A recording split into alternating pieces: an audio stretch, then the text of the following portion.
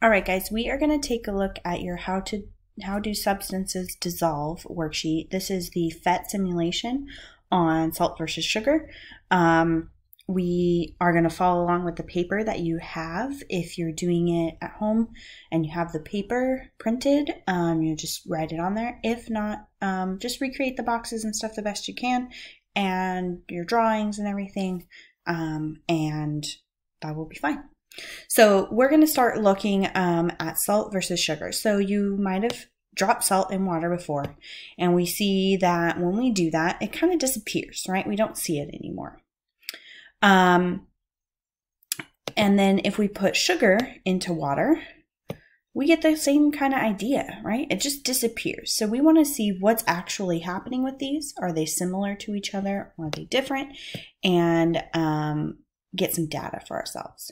Now, we're going to go ahead and remove that sugar I put in. We just have salt. Add a little more. Um, and one thing, one property we can look at with this is conductivity. So this is like a little battery system. When we have it outside of the water, um, and we've got these two electrodes there, the light bulb does not light. But when we put it into this, we see that it lights up. So let's remove our salt and see what happens.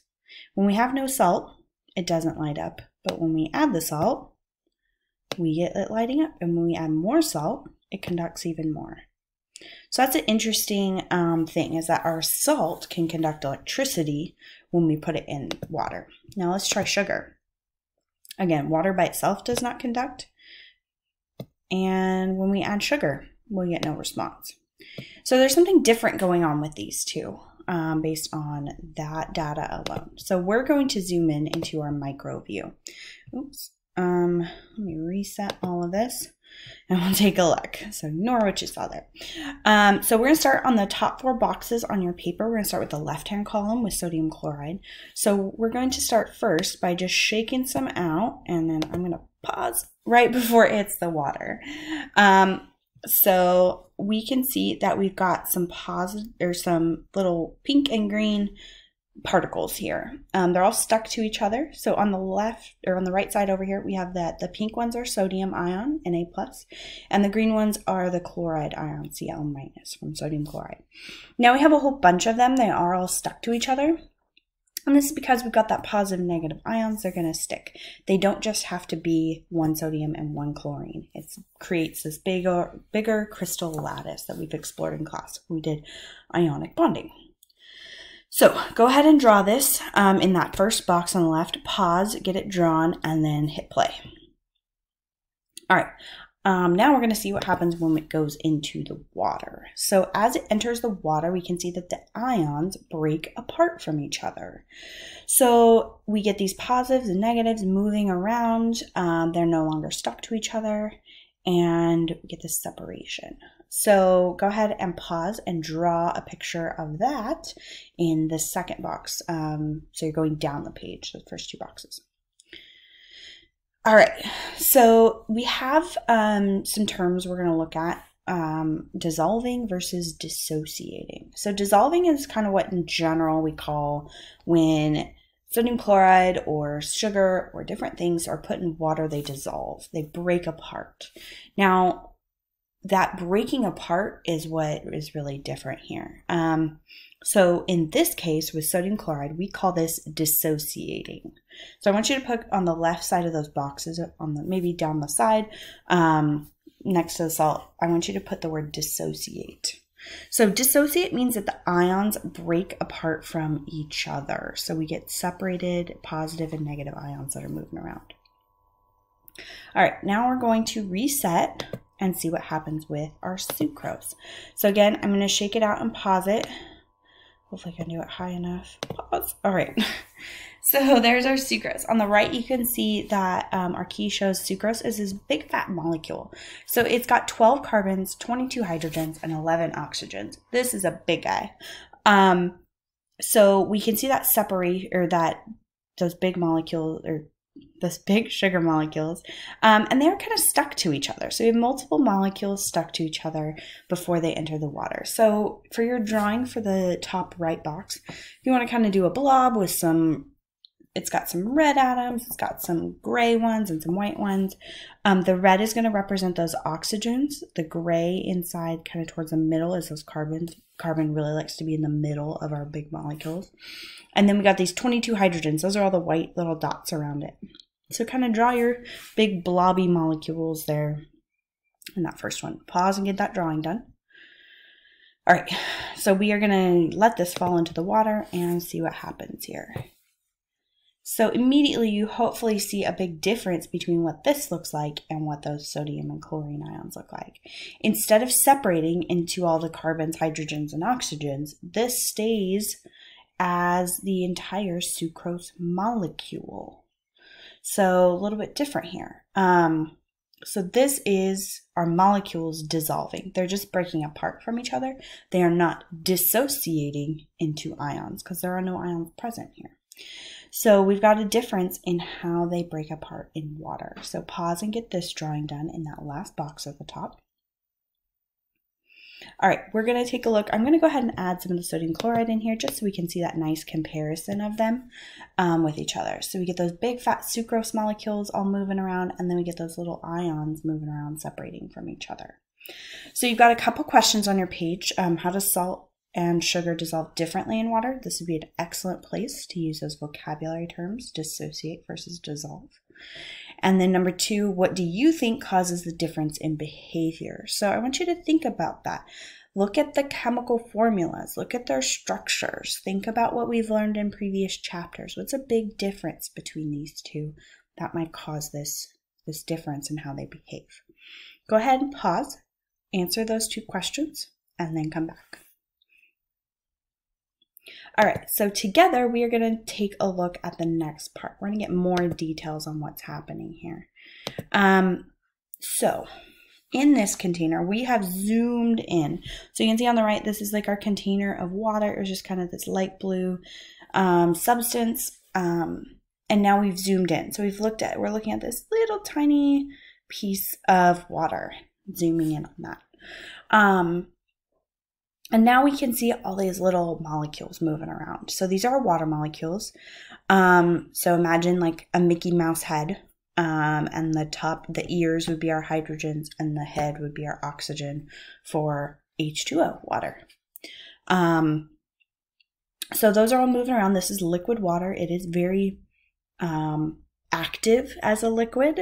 Um, so they're moving.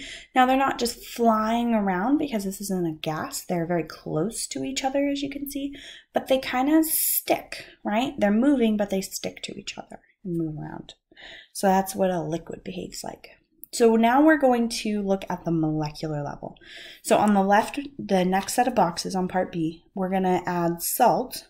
We're going to draw the molecular level of this dissolving in water and we want to color and all that. And remember, we do have colored pencils. Gave you guys all some. Hopefully you still have them. Um, so let's add our salt in here. We got these big old salt things.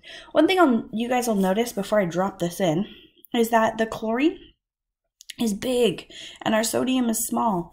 Well, our chlorine added an electron to become negative, so it filled that outer electron shell. It's going to be a little bit bigger than it normally would be in terms of its atomic radius. Sodium, though, lost an electron, right? It dropped an electron, so it dropped an entire energy level. So sodium is much smaller than it would be before that, and we explored that in ionic bonding as well. All right, here we go, dropping it in. I will pause this at some point before they all escape out of the view because they will. All right. Um, let's take a look at the sodium up at the top. We're going to use we're going to use these two at the top as our examples, okay? So sodium at the top here, we've got Na plus and it's got all these water molecules around it. Now you'll notice that the red part, that oxygen part of the water molecule is kind of turned or attracted to that sodium ion. Well, of course, there's a reason behind all of this in chemistry. Um, after you've hopefully you've watched the polarity video and done those questions and stuff and notice that water has a charge to it is polar. So the negative side is the oxygen side that red side. So all those oxygen parts are negative just a little bit. And because they're a little bit negative they're able to attract to that positive sodium ion. Okay so we get this. I want you guys to go ahead and draw maybe on half that box um, for part b so half of the left box make your sodium. So we want to draw a sodium ion, Na+, plus. make sure you put that charge in there, that's important. And then we want to surround it by those water molecules. So you could just draw, like I said, Mickey Mouse molecules, um, but the head part should be the part that's towards that sodium because that's the part that's attracted. Okay, go ahead and get that drawing in, maybe pause and then come back. All right, so let's look at our chlorine ion. So on the right side, we, um, we also want to add our chlorine in. Now you'll notice that chlorine is negative, it gained that electron, so it's surrounded by water molecules, just like sodium. But the positive hydrogen part, that white part, is what's attracting to that chlorine. So see all the little hydrogens that are kind of pointed towards it? That is what's happening with chlorine. Because they're positive, it's going to attract to that negative chlorine ion so draw that part in, that sodium with the water around it, chlorine with the water around it. Maybe do, you know, three or four water around each of them, showing that direction with the water turned the correct direction. Now this process, this has a special name. Um, when we when we add water to ourselves, right? We drink water, we say we're hydrating. Well, this is called hydration of these ions. We're surrounding them by what with water, and that is water of hydration. So that's our sodium and chlorine.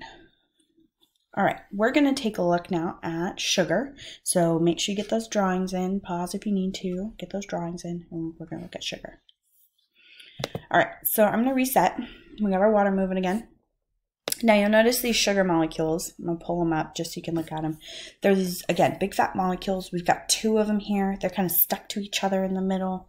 Um, and I have this box checked on the lower right that says sugar highlight. So it's just highlighting it so we can see where the sugar is. We will um, unhighlight it so you'll be able to see that. So let's see what happens. We put those two in there and they separate from each other. Now we can see that um, our water still starts to surround them. Um, but they're not necessarily turned in any particular direction. We've got some where the oxygen is close to it, some where the hydrogens are pointing towards it.